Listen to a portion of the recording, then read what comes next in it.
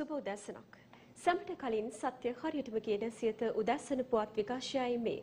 මම ලක්ෂිකා ප්‍රනන්දු ප්‍රථමයෙන් සිරස්තල. සියතට එකොළහයි.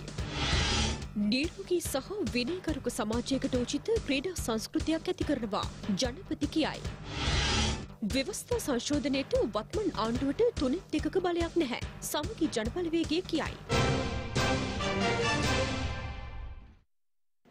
ප්‍රථමයෙන් දේශීය පුවත්.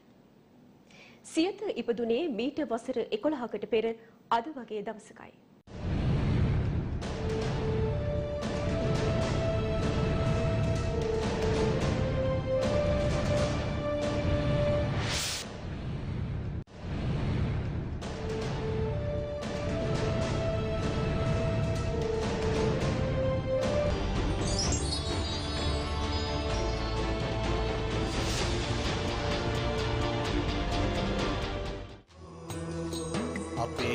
අහසේ අපේ පොළොවේ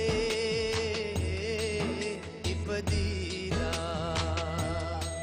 අපේ කන්දේ අපේ ලන්දේ පැතිරීලා. අපේ සුසුමේ අපේ හැඟුමේ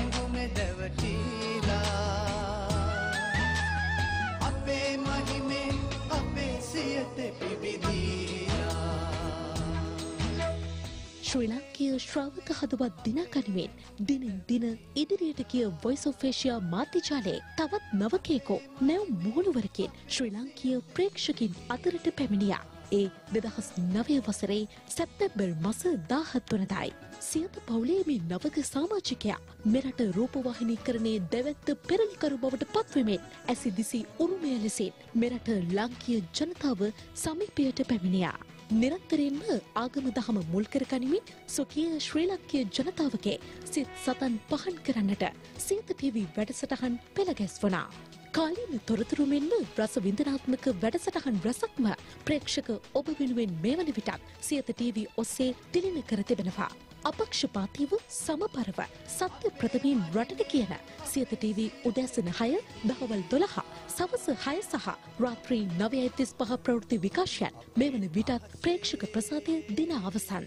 ම්ලේච්ච ප්‍රහාර බියවැත්තේ තර්ජන ගර්ජන සහ තාඩන පීඩන ඇතුළු කටුක අතීතයක මතකය මැදෙන් නොසැලී නොබියව ඉදිරියට පැමිණි සියත TV එකොළොස් වන වර්ෂය වෙනුවෙන් අද දවස පුරා සුවිශේෂී අත්දැකීම් රැසක් ඔබට සමීප කිරීමට සූදානම්. ඒ වොයිස් ඔෆ් ඒෂියා මාධ්‍යචාරය ගරු සභාපති රොෂන්ත කාර්යපෙරුම මහතා ප්‍රමුඛ අධ්‍යක්ෂ මණ්ඩලයේ මඟ පෙන්වීම සහ ආශිර්වාදය මතයි. මෙරට ටෙලිවිෂන් සංස්කෘතිය තුළ අති නවීනතම තාක්ෂණය පෙරමුණට පැමිණි සියත ෆෝකේ තාක්ෂණය ඔස්සේ ඉතාම සුපැහැදිලි දසුන් ජනතාවට තිරින කරමින් සිටින මොහොතක නව්‍යකරණය තුළ අදින් නැරපෙන සියත TV එකොළොස් වන වසර ශ්‍රී ලංකීය ටෙලිවිෂන් වංශ කතාවේ නව හැරවුම් ලක්ෂයක් සනිටුවන් කරන බව නොඅනුමානයි. ආමග දුරයි යායුතු මගද බොහෝ දුරයි. ඒ ගමන යන්නට දුක සැප සතුට කදුල ජය පැරදුම සමග සැමතා අප ළඟින්ව සිටි. අප සැමතා දිරිමත් කළ ආදරණීය ඔබට අපගේ හෘදයාංගම උත්තමාචාරය සහ ගෞරවය. අපේ සුසුමේ අපේ හැඟුමේ දැවටීලා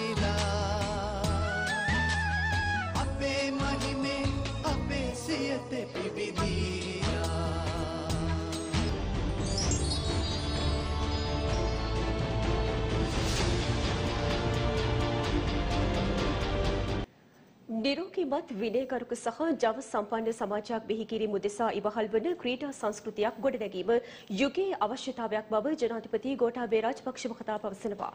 ඒ ජනාධිපති කාර්යාලයේ පැවති සාකච්ඡාවකදී ග්‍රාමිය හා පාසල් ක්‍රීඩා යටිතල පහසුකම් ප්‍රවර්ධන රාජ්‍ය අමාත්‍යංශයේ ඉදිරි සැලසුම් පිළිබඳව ජනාධිපති කාර්යාලයේදී සාකච්ඡාවක් පැවැත්වුණා. මෙහිදී ජනාධිපති ගෝඨාභය රාජපක්ෂ මහතා අවධාරණය කළේ නිරෝගිමත් විනයගරුක සහ ජව සම්පන්න සමාජයක් බිහි කිරීම උදෙසා ඉවහල් වන ක්‍රීඩා සංස්කෘතියක් ගොඩනැගීම යුගයේ වගකීමක් බවයි. ක්‍රීඩාව තරුණ පරපුරේ භාෂාවයි. අධ්‍යාපනයට සමගාමීව දරුවා ක්‍රීඩාවට යොමු කිරීමෙන් පරිපූර්ණ පුරවැසියෙකු සමාජයට දායාද කළ හැකි බවද මෙහිදී ජනාධිපතිවරයා පෙන්වා දුන්නා. දිවෙන පුරා පාසල්වල ක්‍රීඩාවට දක්ෂතා දක්වන දරුවන් කුඩා කලම තෝරාගෙන ඔවුනට අවශ්‍ය නිසි පෝෂණය සහ ජාතික සහ ජාත්‍යන්තර පුහුණුව ඇතුළු පහසුකම් සපයන වැඩසටහනක අවශ්‍යතාවයද ජනාධිපතිවරයා අවධාරණය කළා. ග්‍රාමීය පාසල්වලට ක්‍රීඩා පිටි ලබා දෙන ලෙස ඉල්ලා සිටියද ඒවා ඉදිකර දීමෙන් පසු නඩත්තු නොකරන බව බොහෝ ස්ථානවලදී දක්නට ලැබුණු බවද ජනාධිපතිවරයා පවසනවා. ක්‍රීඩා පිටි නඩත්තු කිරීමේ හැකියාව පළාත් පාලන ආයතන සතුව තිබෙන බවත් තෙමසක් ඇතුළත දිවයිනේ සියලු ක්‍රීඩා පිටි අලංකාරවත් ලෙස පවිත්‍ර කර දෙන ලෙසට ආර්ථික පුනර්ජීවනය පිළිබඳ ජනාධිපති කාර්යසාධක බලකායේ ප්‍රධානී බැසිල් රාජපක්ෂ මහතා නිලධාරීන්ගෙන් මෙහිදී ඉල්ලා සිටියා. කොළඹ හත ටොරින්ටන් මාවතේ පිහිටි ජාතික ක්‍රීඩා විද්‍යායතනය දියගම ක්‍රීඩා සංකීර්ණ පරිශ්‍රය සමග බද්ධ කොට අන්තර්ජාතික මට්ටමේ ප්‍රමිතියෙන් යුත් ක්‍රීඩා විශ්වවිද්‍යාලයක් ආරම්භ කිරීමට සැලසුම් කර ඇති බව මෙහිදී තරුණ හා ක්‍රීඩා මාත්‍ය නමල් රාජපක්ෂ මහතා පැවසුවා. ක්‍රීඩා සංස්කෘතියක් ගොඩනැගීමට නම් කුඩා දරුවන් සෙල්ලම් කරන තැන් සොයා ගොස් ක්‍රීඩා පිටි සකස් කළ යුතුව ඇති බවද නමල් රාජපක්ෂ මහතා පෙන්වා දුන්නා. දේශීය කර්මාන්තකරුවන් නගා සිටුවීමට නම් බැංකු විසින් ණය පහසුකම් ලබා දීමේදී ලිහිල් ප්‍රතිපත්ති අනුගමනය කළ යුතු බව අග්‍රාමාත්‍ය මහින්ද රාජපක්ෂ මහතා පවසනවා. අග්‍රාමාත්‍යවරයා මේ බව සඳහන් කළේ බත්තරමුල්ල දියත පරිශ්‍රයේ පැවති උත්සවයකදී.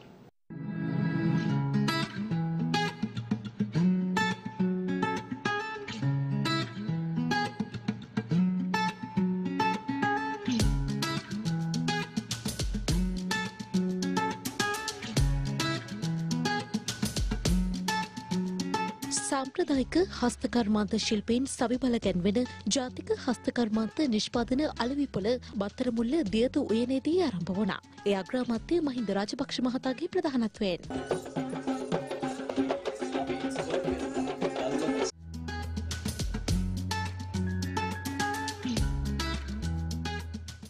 කර්මාන්ත කරුවගේ ආර්ථිකය ශක්තිමත් කරලා දේශීය කර්මාන්තය තුළ අපේ ජනතාවට නව ආකල්පමය වෙනසක් හැඟීමක් දේශීය කර්මාන්ත කරය පිළිබඳව හිතියන්න පුළුවන් වැඩපිළිවෙලක් සකස් කළ යුතුව පවතිනවා. ඒ වගේම වෙළඳපොළ අරමුණු කරගත්ත ඒ දේශීය කර්මාන්ත අපි වර්ධනය කරන්න ප්‍රවර්ධනය කරන්න අපි කටයුතු කරනවා. පසුගිය ආණ්ඩුව කාලේ දේශීය ශිල්පීන් විතරක් නෙවෙයි දේශීය කර්මාන්ත සෑම එකක් පිළිබඳවම ඉතාම අඩු අවධානයක් සැලකිල්ලක් දක්වලා තිබුණේ. මට මතකයි එදා හිටපු මුදල් ඇමති රවි කරුණානායක මැතිතුමා පාර්ලිමේන්තුවේදී කියනවා භෝගවලට පොහොර දාලා වැඩක් නැහැ ඒකේ කිසි ප්‍රතිඵලයක් නැහැ කියලා. කෘෂි කර්මාන්තය පමණක් නෙවෙයි ස්වදේශික සෑම කර්මාන්තයක්ම බිඳ වැටෙන අයුරින් තමයි ඒ ආර්ථික ප්‍රතිපත්තිය ගොඩනගලා තිබුණේ. නමුත් අද දේශීය කර්මාන්ත වලට ග්‍රාමීය කර්මාන්ත වලට ඉහළ පිළිගැනීමක් ඉහළ අවධානයක් ලැබෙන වාතාවරණයක් ඇති කරන්න අපට පුළුවන්කම ලැබිලා තියෙන්නේ. දේශීය ආස කර්මාන්තය වඩාත් ප්‍රචලිත කරන්න. නම් අපි මේ නිෂ්පාදන අලෙවි කිරීම ඒ වගේම අපි පාවිච්චි කිරීම කළ යුතුව තියෙනවා. මෙවැනි වෙළඳ පොළවල් තිබීම තුළින් වඩාත් උනන්දුවක් දක්වන්නට සහ මේවා ප්‍රචලිත වෙන්නට එක හේතුවක්. අද විශේෂයෙන්ම ගමේ ශිල්පීන්ට තියෙන ප්‍රශාල ප්‍රශ්නය තමයි බැංකුවකින් නාක් ගන්න ගියා. තමන්ගේ කර්මාන්තය දියුණු කරන්නට ඉදිරියට ගෙන යන්න මුදල් අවශ්‍යතාවය. බැංකු මම හිතන්නේ මීට වඩා ලිහිල් ප්‍රතිපත්තියක් අනුගමනය කළ යුතුයයි මම විශ්වාස කරනවා. වගේම අද මහජන බැංකුවේ සභාපතිතුමා ඉන්නවා.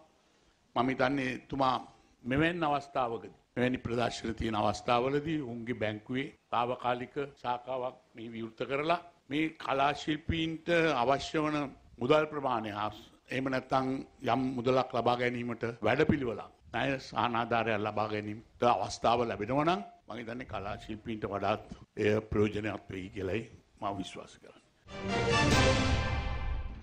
ආණ්ඩුක්‍රම ව්‍යවස්ථාව සංශෝධනය කිරීමට වත්මන් ආණ්ඩුවට තුනෙන් දෙකක බලයක් පාර්ලිමේන්තුව තුළ නොමැති බව පාර්ලිමේන්තු මන්ත්‍රී එස්.එම්. බරික්කාර් මහතා පවසනවා. ඒ විපක්ෂ නායක කාර්යාලයේ පැවති මාධ්‍ය හමුවකදී. ඒගොල්ලන්ට තුනෙන් දෙකක් ගන්න නම් අනිවාර්යයෙන්ම ඇමති කටු සූප්පු කරන්න ආස වෙන දෙන්නෙක්ව අඩු ගානේ විපක්ෂයෙන් උස්සන්න වෙනවා. අල්ලස් දීලා උස්සන්න වෙනවා. පගාව දීලා උස්සන්න වෙනවා. තුනෙන් දෙකක් හම්බුණා තුනෙන් දෙකක් හම්බුණා කියන පට්ටපල් බොරුවක්. තුනෙන් දෙකක් ජනාධිපතිවරණ හම්බෙලත් නැහැ මහමැතිවරණ හම්බෙලත් නැහැ. ඒ නිසා වර්තමානයේ මේ මොහොතේ මේ රටේ පවතින ව්‍යවස්ථාව අනුව යම්කිසි වෙනසක් කරන තුනෙන් දෙකක් අවශ්‍යයි. ඒ තුනෙන් දෙක මහ ජනතාවගේ ඡන්දෙන් හම්බෙලත් නැහැ. පාර්ලිමේන්තුවේ ඔලුගෙඩි නියෝජනයෙන් හම්බෙලත් නැහැ. ඒ ඔලුගෙඩි නියෝජනය කෘත්‍රිමව විකෘති කරලා 2010 කරා වගේ අල්ලසට පගාවට දෙතුන් දෙනෙක් ඉස්සුවොත් තමයි හදාගන්න පුළුවන් වෙන්නේ. මේ ව්‍යවස්ථාවක් හදනවා හෝ ව්‍යවස්ථා සංශෝධනයක් කරනවා කියන්නේ පුද්ගල සාධකයක් බද්ධ කරගෙන පුද්ගලයෙක්ව ඉලක්ක කරගෙන මේක හදන්න බෑ. මේක තනිකරම පුද්ගලයෝ දෙන්නෙක් ඉලක්ක කරලා හදලා තියෙන්නේ. වර්තමාන ජනාධිපතිතුමාට අසීමිත බලයක් ලබා දෙන්න ඒ වගේම වර්තමාන අගමැතිතුමාව පියන් කෙනෙක් කරන්න ඉලක්ක කරලා. යුද්ධය දිනපු ජනාධිපතිවරයාව පියන් කෙනෙක් කිරීමේ අදහසින් තමයි මේ ගෙනලා තියෙන්නේ. ඒ නිසා අද අපිට පේනවා ආණ්ඩුව ඇතුලේ බරපතල බෙදීමක් ඇති වෙලා තියෙනවා. බරපතල මේ බෙදීම තුල මේ මේ අයට දිග ගමනක් යන්න බැරි බවත් අපිට පේනවා. අපි ඊටම පැහැදිලිව කියන්න ඕන. දැන් මහින්ද රාජපක්ෂ මැතිතුමා මහරජාණන් හැටියට ඉඳලා පියන් කෙනෙක් වෙන්න එතුමා කැමති වෙයිද කියන එක අපි බලා ගන්න ඕන. මේ කරන වැඩේ ප්‍රජාතන්ත්‍රවාදයේ මුළුල්ලේ පුටා දාන වැඩෙන් අනාගතයේදී ඉතින් නාමල් කුමාරයාට ඔටුනු බලන් දන්නවත් හම්බෙන්නේ නැහැ. උදැසන පුවත් විකාශය අවසන්. තවත් උණුසුම් පුවත් දැනගැනීමට පිවිසෙන්න ලංකාවේ අංක එකේ සිංහල වෙබ් අඩවිය www.siyanews.lk අපගේ වෙබ් අඩවියට. ජනිත හමුවේ වූ මධ්‍යහන පුවත් විකාශයත් සමගින් ඔබට සුබ දවසක්.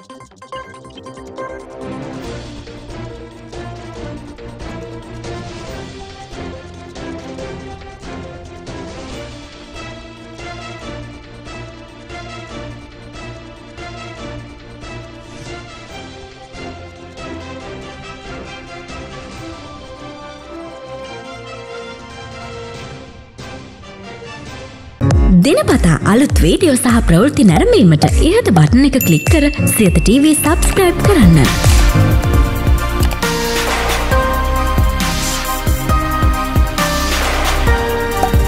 අලුත් වීඩියෝ ගැන මුලින්ම දැනගන්න මෙම සීනුව කලික් කරන්න.